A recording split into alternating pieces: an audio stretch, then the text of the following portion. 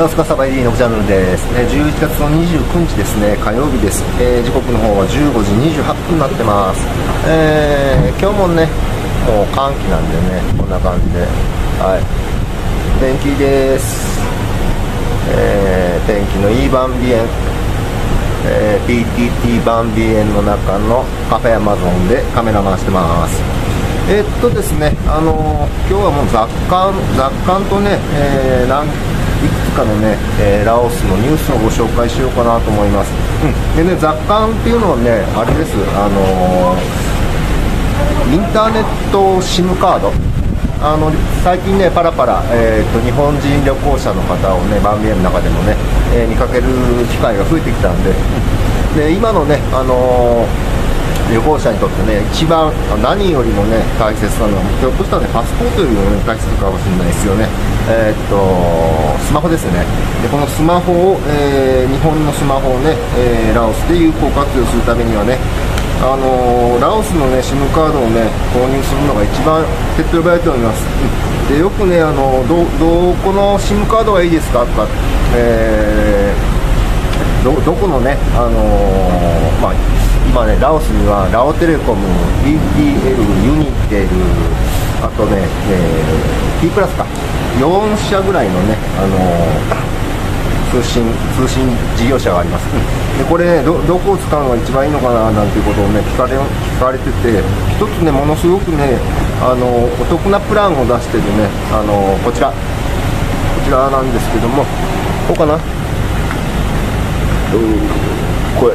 この T プラス？T プラスっていうねえここのねブラ、えーと通信事業所、えー事業者がねえこれがねあの新しいとこなんですけども前はね D ラインっていうあのブランドだったんですけどこれがね、えー T プラスっていうのに変わりました、でこれが1万切符今100円100円そっちこっちでね6日間6日間で、えー6日間で10ギガバイトをね利用できるっていうねプランを出しています、うん。でこのねあのー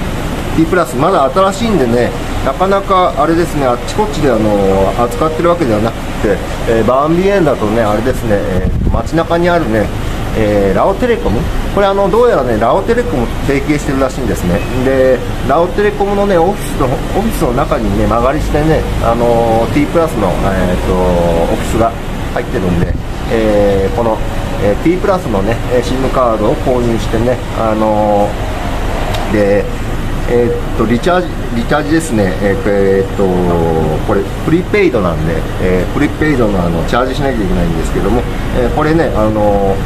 ラオテレコムのね、えーチャージカードを購入して、えーこの T プラスにねあのチャージができるようです、うん。これあのおすすめです。ご利用ください。であとねあの国境入ってすぐにねあのネット繋がんないとね不安な方なんかもね 最近ね結構いらっしゃるみたいなんでえーっと国境入ってのこの T プラス T プラスっていうのをね言ってたらねあのこちらの方をね購入してみてはいかがでしょうか、こんなねえーっと T プラス T プラスの、えーお知らせです。あとねニュースですね。ラオスあそういえばねあの FIFA FIFA がねあのラオスの、えーラオサットっていうね、えー衛星放送の会社があるんですけども、えーラオサットのねワールドカップの放送をね、えー FIFA がねカットしたらしいです。ということでですね、えーラオス国内で、えーラオサットからねあの利用して、えーワールドカップをね観戦することができなくなりました、うん。もうねあのラオ人も結構ねあのかけてるんでねあのかけてるんでもうみんなね結構ねひっちゃりになって見てるんですけれどもあのーえーラオラオスの、えーなんですか？国内事事業者えー衛星放送の会社を、ね、利用して、えー FIFA をね、えー FIFA ワールドカップをですね観戦することができなくなったということでですね、えー多くのラオ人がねがっかりしてるっていうねニュースが上がってました。はいえーあとね、あの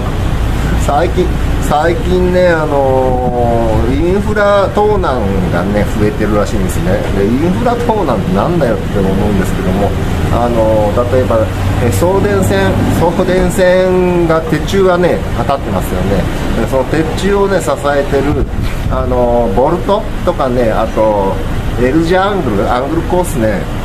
この辺をねボルトを緩めてねアングルこうパクってねあの風鉄としてねあの打っ飛ばしちゃうっていうねあのまあ、そんな盗難がね増加してるらしくて、えー、先日はですねなんか送電線送電線のあの電線をね、えー、切断しようとして、あのー、感電してねあのそのままあのえー、電柱からね落ちちゃったっていうね間抜けなね3人組とかがね捕まってるみたいですねでこれがねまたすっごいですねあのえー、っと手袋、ニッパー、鍵、ブーツ、うん、これ長靴なんだろうと思うんですけども、えー、その辺がね散乱してるのがね、現場付近にねあの確認されたということですね。でこれ被害総額がね結構2億切符だから2000万円2000万円相当なんですかね、2000万円相当のね、あの被害額が上がってるらしくて、この3人はね、あのそえー、っと送電線、送電線をパクろうとして失敗してね、逆にね、えー、っとえー、何えー、ラオスの電力会社の方にね2000万円相当をね支払う羽目になったというね、まあ、本当にねあのバチバチは当たるもんだなっていうねブツバチですねブツバチはい。うん。こんな感じですね。うん。であとねあの笑っちゃうんですけど田舎の方行くとねあのーなんですかか、えー、簡易舗装してるんですけどこの簡易舗装っていうのは、えーと、C 重油っていう重油があります。あの質が質が悪くて粘度が高いあの重油なんですけれども粘度が高いんで通常あのその C 重油を、ね、燃料に燃料にとしてあの利用するためにはその燃料タンクにね蒸気コイルを突っ込んでそこにあの蒸気を吹き込んであのえ、ー、と重油をね加熱してで加熱すればあの粘度が下がってくるんでそれで利用利用するような、まあ、今は日本日本国内じゃ、ね、ほとんど使われてないような重油があるんですけどもそれをね、あの加熱した状態ででなんだろう、えー、採石かな採石を、あのばらまいて砂利とかをばらまいた上からそのひしゃくでね重油をタラタラタラってかけるとまあまあ、あの温度が下がってこの、えーと大気温になるとですね固まります重油が、うん、でそれでね、あのー、舗装したりしてるんですけども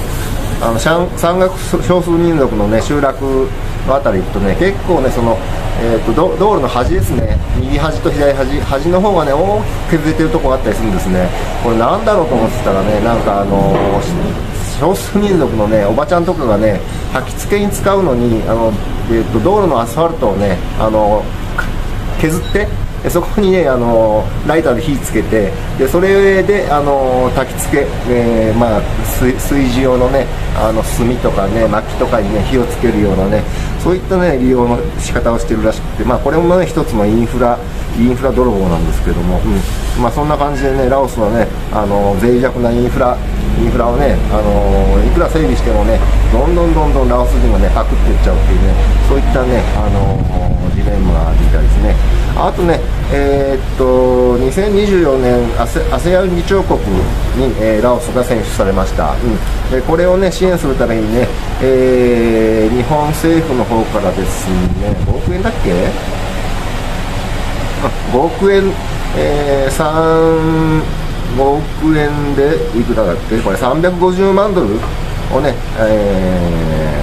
ー、日本日本からね、えー、無償資金協力としてね提供されるらしいです、うん、まあまあねこのこの 5, 5億円相当はねどうなんすかね？そのまんまなんかあのー、国のね抱えてる借金のね返済に使われそうな気がしないでもないんですけども。まあまああとりあえずあの日本の日本の皆さんのね、あの納めていただいた税金がですね、ラオスに5億円流れ込むことになりました。ありがとうございます。えー、っと、このこの動画はこの辺で終了いたします。ご覧いただきありがとうございました。